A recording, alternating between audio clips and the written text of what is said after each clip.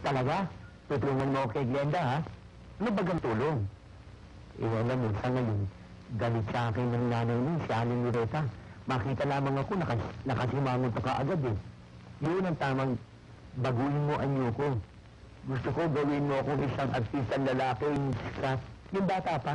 Direct from Channel 13. Tumingin ka sa salamin nang masaksihan mo ang iyong pagbabago.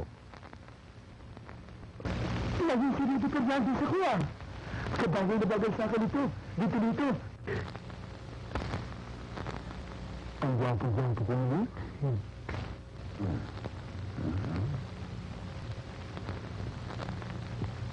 Dito dito.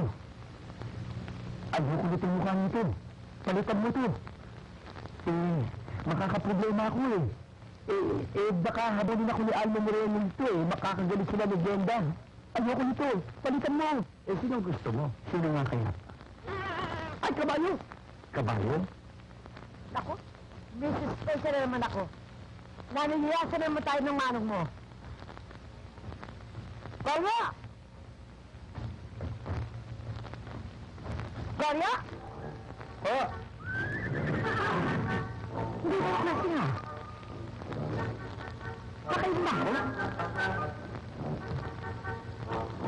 bạn coi aku à không nghe